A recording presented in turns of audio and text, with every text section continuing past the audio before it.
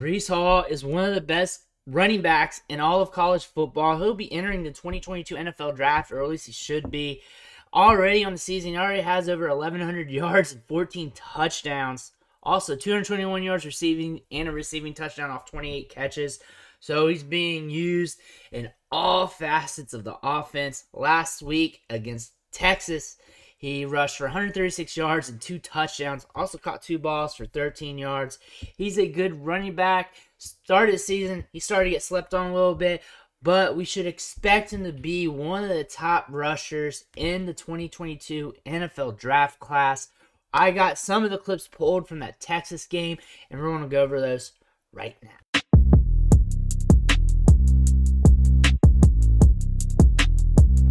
Here's the first play we're going to cover. We're in shotgun right now. Breece Hall's in the backfield. Going to go ahead and run it. So he's going to get a pitch to the outside here. 95 escapes through but he's got the angle on him and good blocking here to the outside. He's going to take that. Pretty much an easy play here on the edge so far. And now he's got a dude in front of him, but really doesn't need to do much to shake him out. He doesn't really need to do anything at all, really. Goes forward, still working, reading the momentum here of 25. 25 is going this way, so of course Breece Hall is going to weave this way to, to scoot past him here. Uh, now he's reading his block here, coming down, cracking on nine. He's going to read the momentum of that guy. Bam! Rushing, running, running, running, running, running. Is he going to get in? Score. So one thing you're noting on this play is, of course, here it's pretty much a gimme. A straight shot to the outside, to the edge here. Is right here when we get to the open field. He does a good job of reading the momentum of the defenders around him. He reads the space well. He reads where they're headed and reacts off that. And he also reads his blocks well too while he's in space. So here he knows to keep it going straight. Here he sees 25, so he just whips it to the opposite side he's going to. And now here he's looking for this block. He times his move off that appropriately. And bam, he is now off to the score. Let's just run this real fast, real quick. Let's just run the whole play. And I really just want you to see his athleticism. So, one thing you want to note, stop. One thing you want to note when we're looking at his athleticism, when he's got the ball in his hands, he's not overly bursty. He's not the fastest running back on the field. But when we draw this back, is he fast enough? That's all we need to know. Is he fast enough?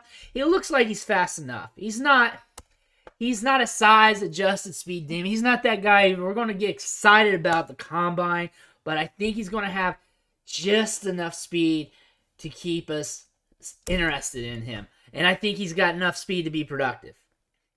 Is the defense catching up? That guy, 25, has a good angle. He's able to pull away a little bit. We're going to see some more plays. But I think Breece Hall has just enough speed to keep things moving. Obviously, when we're watching him on the field here, he is reading and reacting to everything around him really well. Good vision. Sometimes that helps you out a lot, especially when you're very assertive when you're approaching the line of scrimmage. Next play, we're in shotgun again. It's a little blurry here to start, but I promise it gets better. But here, he gets the handoff. Notice the line shifting the defensive line, the defense to one way, and he's going to crack it back the opposite side here. We got a DB here cracking down, trying to make the tackle. But Breece Hall does a smart thing. He just cuts it up. Just cuts it up. He's just got enough separation here and just enough burst to slip by. Let's watch that part in real time. Bam. So, not super bursty on that, but really just enough burst to get by. And also the assertiveness to make that move, to make that cut. Now he's turned up here. So let's see what happens. He turns into a spin move. Let's watch that again. So he's chaining together moves here. Bam. Spins out. Boom. Circle button. What's going to happen now? Another defender comes up. Jump cut. That is beautiful. This is like playing Tekken on PS2 or whatever, and you're hitting the buttons perfectly. You're in the zone. Look at this. Let's watch this. Slips past him. Let's go back again. He slips by this dude. Whoop! Circle button little tiny baby jump cut, and bam. And that's it. Hits the outside and gets the gain.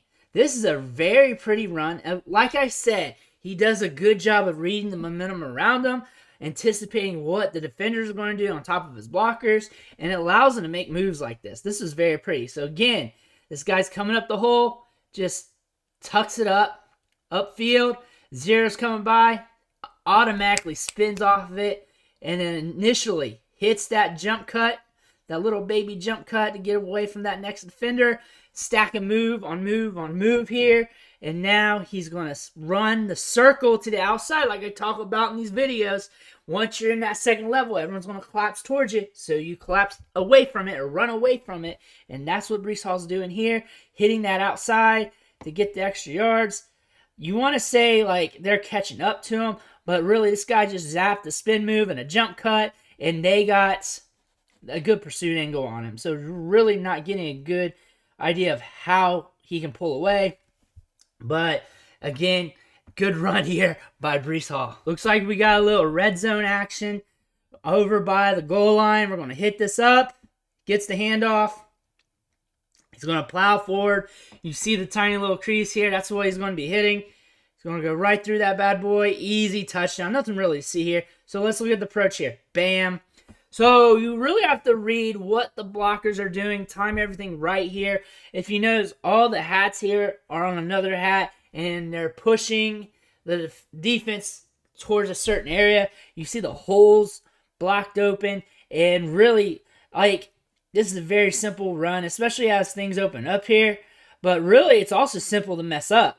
Like here, as things are opening up, you really got to be patient to wait for your blockers to open things up. Because one, you can come in like a bat out of hell, run up here, and really cause one of these guys to slip off their block, make a play. Or you run up the backside of one of your offensive linemen before they can get the, the block together. All in all, he's probably going to get this one almost no matter what. Because all he's needing to do is run forward here.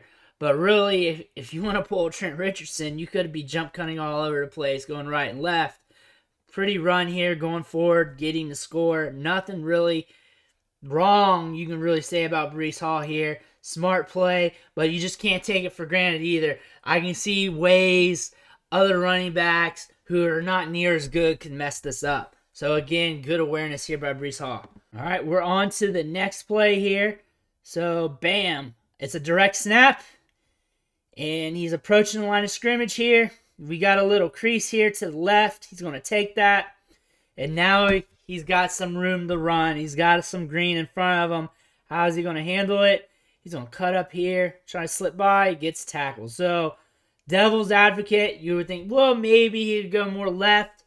The defender, number four there, he's got the leverage. All he has to do is push off, peel back, and get the tackle. If he would have went left, that's what he's seeing when he's making the run. So what he's seeing here is follow the ass crap of his blocker here and try and slip past this defender who's diving at him. Gets caught.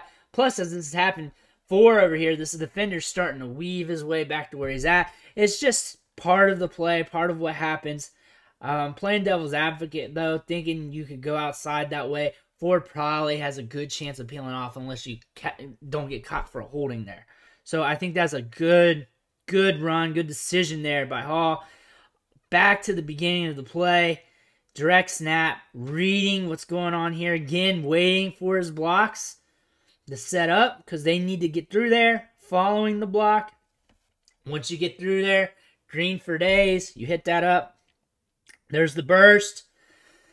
Not super bursty. That's my big red flag here.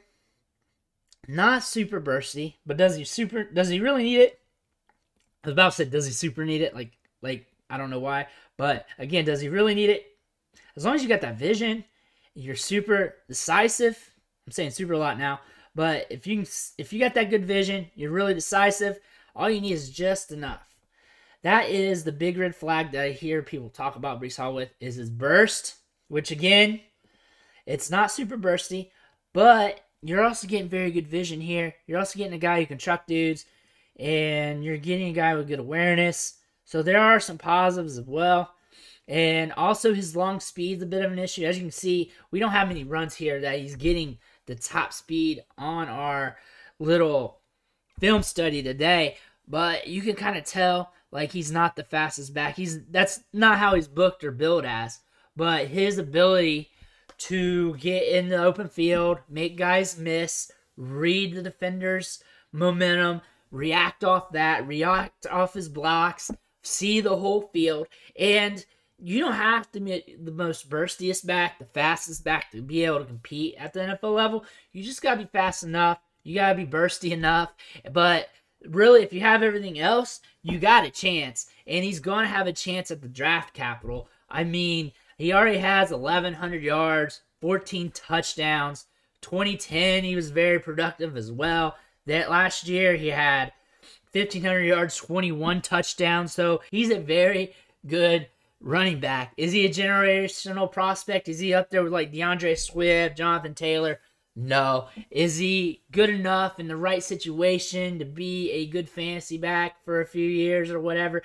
Yeah, he, he has the intangibles. He has intangibles to do that. He's catching the ball in the backfield. He can run between the tackles. You can rely on him.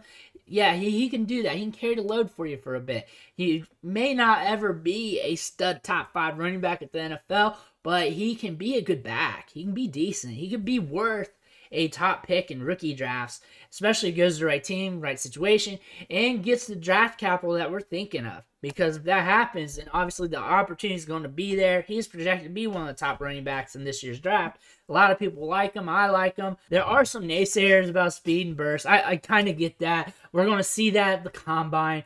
And I'm also throwing that into his prospect profile as well um, when it comes to his overall value. But right now, I'm looking at his production numbers, what I'm seeing on the field, and I'm seeing a guy who appears to be just fast enough, just bursty enough, good vision, good awareness, and everything else. And I'm just going to let the cards fall as they will.